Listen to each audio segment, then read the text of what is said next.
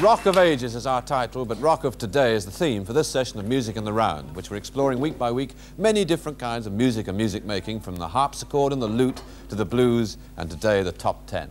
What you've just heard was, in fact, a top 10 number from last autumn called Jeepster, and the composer is our guest of honor for tonight, Marc Bolan.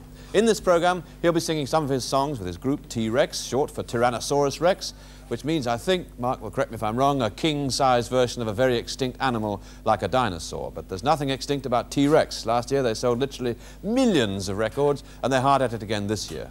A few of their fans, just a few of the thousands, have squeezed into the Cockpit Theatre here in London, and they'll have a chance to ask Marc some questions later in the programme. But I'll begin with my own question, if I may, Marc, asked out of friendly ignorance.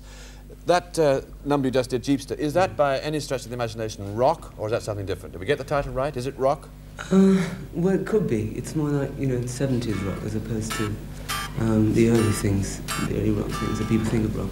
What's the difference? When you say 70s rock, what does that mean? It's, it's the quality, man. Those early records were really incredible, but they weren't sort of stereo or anything, and the, there was very little bass on them, you know. Um, and I'm, what I'm really interested in doing is, is getting the excitement down that was generated that I felt as a kid, certainly in those things.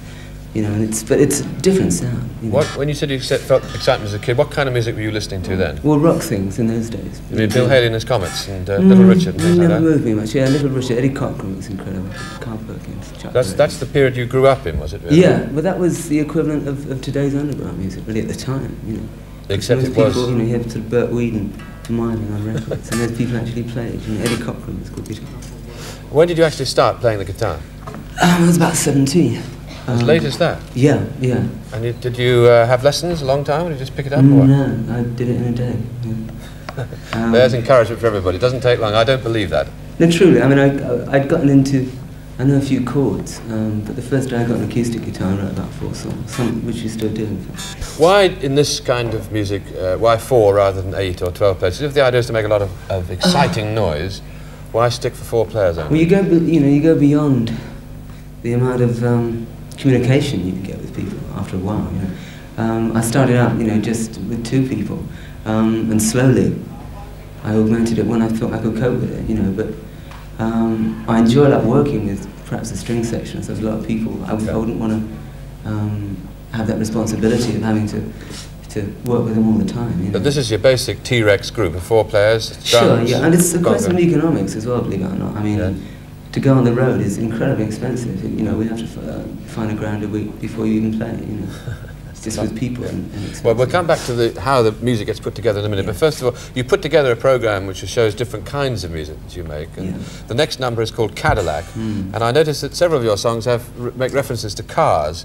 The one you just uh, did, Jeepster, earlier on, the verse, there's a verse about, I wrote it down. Uh, uh, just like a car, you're pleasing to behold. I'll call you Jaguar if I may be so bold. Uh, and I uh, meant the animal, actually. I see. but in Jaguars. I noticed in another of your lyrics, you say, "I'll buy you a car and then I'll throw it away later." But is, ca- is car cars, really. is car very important? Um, Are cars important? American, a Cadillac. I mean, I've, I've got that for an amazing car which someone gave to me actually at one point. An old Cadillac, which was a work of art. It was a masterpiece. As a car? I don't drive, but I mean, it's, it's an amazing car. Yeah. But The this next this strong. next song is called Cadillac. Mm. What can you say? What it's about? Uh, it's not really about too much at all, actually. It's not about Cadillacs for a start. Well, we'll play it and we'll see if you can work it out. let's hear it. I don't really know. I mean, I just do what I do because it gives me a buzz. And I don't really know. I mean, you don't look like a teeny bop or whatever people call. You know, it's, see, the implication that you give is, is sort of a bit detrimental, a bit mindless. You know what I mean? I have this. I don't mean that you mean it like that, but people tend to think of young kids in general. I mean, a lot of real babies dig T-Rex music, which is a gas. Real little kids, you know, and that is nice. you know. And they're pretty hip. You know. So, Marc, it's been good to have a question session, but we're really here to hear music, and as you say, get to know it and hear more of it. So, what are we going to hear for, for your last piece?